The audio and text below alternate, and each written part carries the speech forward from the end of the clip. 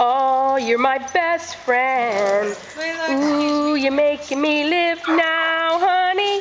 Ooh.